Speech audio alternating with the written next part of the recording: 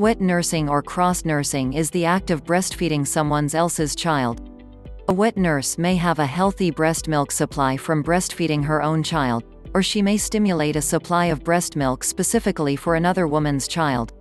Wet nursing is also used by women who are attempting to create a strong breast milk supply when their own babies can't nurse because they are premature or sick. Having a healthy baby nursing at the breast will do just that.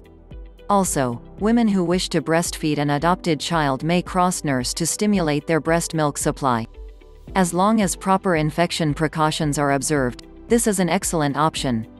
The cross-nursing mom should be healthy and well-nourished. She should not have any infections, take any medications, and not smoke. A history of wet nursing.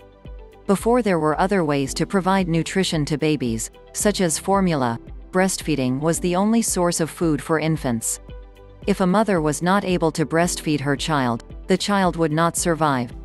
One way that women would get around this was by helping each other. Mothers who had enough breast milk would breastfeed their own children as well as other children who needed to be nursed. While women would often nurse the children of family and friends for no charge, many women were hired to breastfeed other children. Wet nursing is still very much alive in many cultures throughout the world. However, in Western cultures, it has been fairly uncommon since the early 1900s.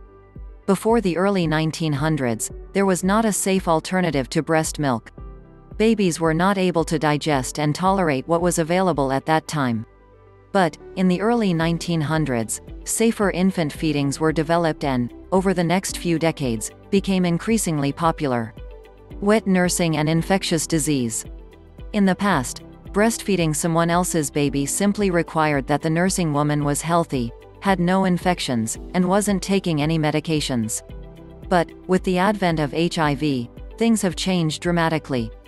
Women are still wet nursing, but HIV testing for both the wet nursing mom and the other woman's baby have become essential.